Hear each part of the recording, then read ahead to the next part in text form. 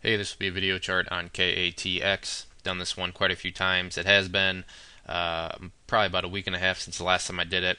I think I did it uh, on one of these days over here. Not quite sure, uh, but I had a bunch of requests for it today come in. So I want to get the chart updated here as it definitely uh, does need uh, an update in here with today's uh, move.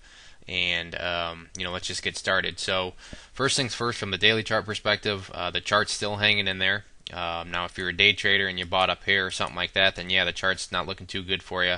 Uh, but I know a lot of people are in this for the longer term, so they uh, you know care about the daily chart. And today acted actually um, pretty strong uh, relative from daily chart perspective. What I mean by that is uh, you see this purple line here. This is the 50-day simple moving average from a technical analysis standpoint. Uh, this is one of these levels that you always want to see strength. You don't want to see the price crash through it or anything like that. And today right there, the power of charts. Price came down. Uh, looks like there's quite a few people sitting down here and uh, picked up some shares right there. And the price held, so it was good to see that the 50-day simple moving average was able to provide to uh, provide support.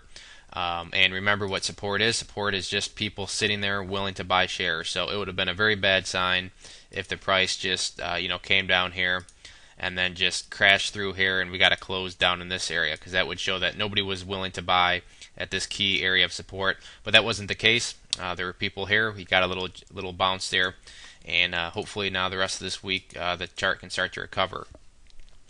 So with that being said, uh, the key support levels kind of already touched on that, but uh, the main one that we you know you don't want to see fall is right there, uh, the 50-day simple moving average. You can see that it's been quite a long time since the price has fallen below it.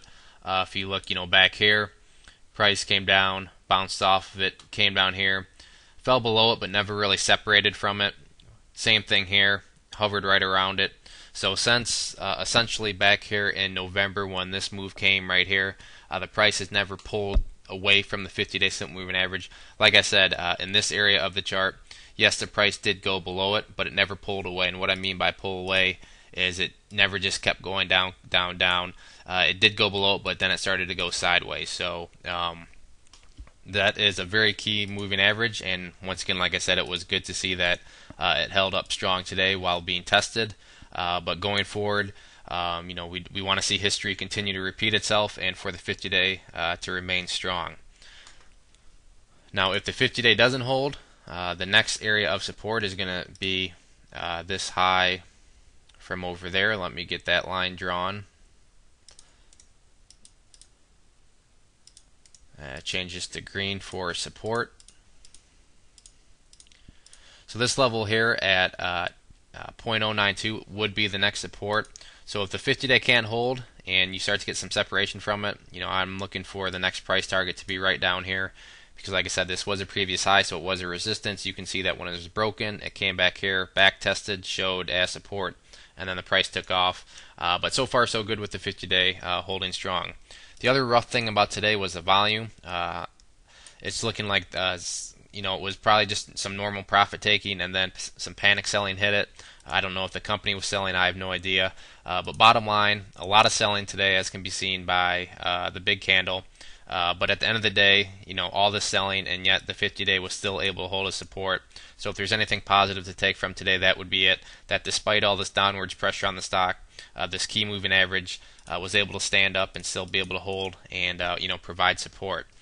So going forward, uh, you know, hopefully we'll just see some sideways action here. We don't want to see the 50-day uh, fall because, like I said earlier in the video, um, history has shown that since November, this had, the price has essentially been able to hold above this level. So hopefully uh, that remains the case going forward. If there are any other questions on the chart, please let me know. If not, I'd encourage you to check out bullwarriorstocks.com. If you go there and sign up for the free newsletter, you'll be sent a free ebook. And with your newsletter subscription, you'll get chart setups, trade ideas, educational pieces, all sorts of things from big boards down to penny stocks. So there's a good variety, something for everybody, and it's all free. So it's worth at least signing up, uh, checking out. We've been making some good money together. So I'd encourage you to head to the website and see what it's all about. One more time, this was KATX. Thanks for listening.